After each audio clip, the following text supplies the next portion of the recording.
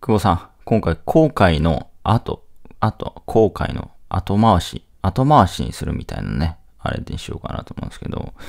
まあその感情が出て、感情の生き物じゃないですか。でも感情が出たとしても、その感情が一番高ぶってる時に、すら後回しにするんだったらそれはできないですよね。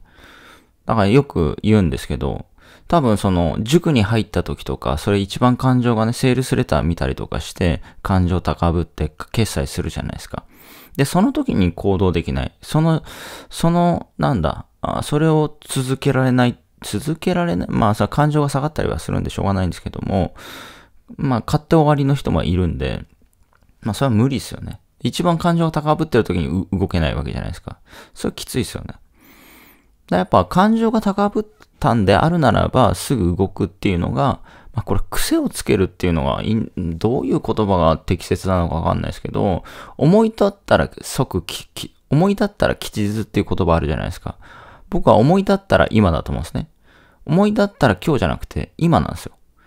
今この瞬間に生きるというか、今この瞬間感情が高ぶったんだったらできるだけすぐ動く。もちろんその動けない状況だったりとか、そういう時ももちろんあるんだけど、その回数、頻度を増やすってことですね。思い立ったらすぐ動くという頻度を増やすことによって、多分人生の変えられるスピードっていうのは変わるんじゃないかなと思います。逆に言うと、それを後回しにしている人は、結局後回しにした結果、死ぬ時に、ああ、やっとおけばよかったな、もうちょっと挑戦しとけばよかったなってなると思うんですよ。多分この、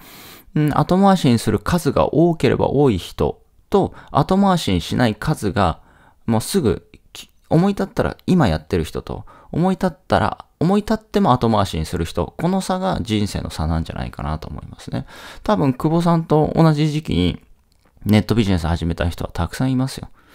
ね。ああの塾でもね、久保さんが思ってたと思いますけども、なんでやらねえのかなみたいなね ね。俺やってやるぞみたいなね。やってダメだったら逆にクレーム言ってやるぞみたいな話ですよね。久保さんはすぐ思い立って感情が高ぶって、まあ、やって、さらにね、東京まで広島、金ねえのにね、自慢げにね、こんなんですよ、みたいなね、来てましたけどね。金ねえけど まあ、東京まで来ましたね。うん。行ってらっしゃい。